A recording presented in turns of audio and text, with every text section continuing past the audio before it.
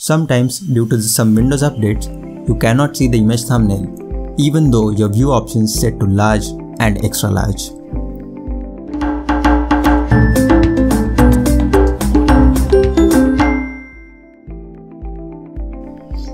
To resolve this issue, we have three solutions. Let's start with the first one.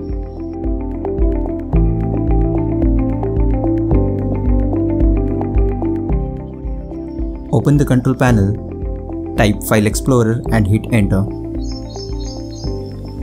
Click on the File Explorer options. When the dialog box gets open, go to the View tab.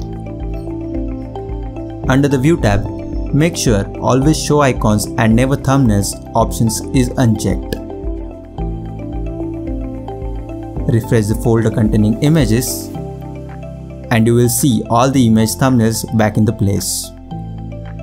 If this solution doesn't work for you, then you can try the next solution.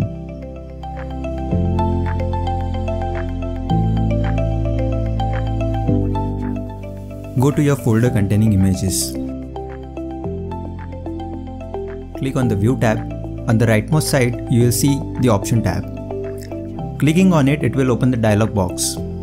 In the View tab again, make sure you always show icons and never thumbnails options is unchecked. Just for your information, the current box is of folder options and the earlier one was of the file explorer. So don't get confused in between. Refresh the folder containing the images and you will be able to see all the image thumbnails. If this solution doesn't work for you, then you can try our next solution.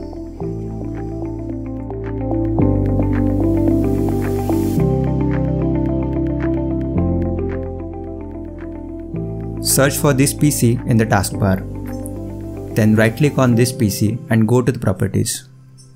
Click on advanced system settings option at the top left side. Click on the settings in the performance tab. And you will see show thumbnails instead of icons option. Make sure it is checked. Refresh the folder containing the images and you will be able to see all the images thumbnail. If your issue is resolved, then hit like button and let us know which solution worked for you in the comment section.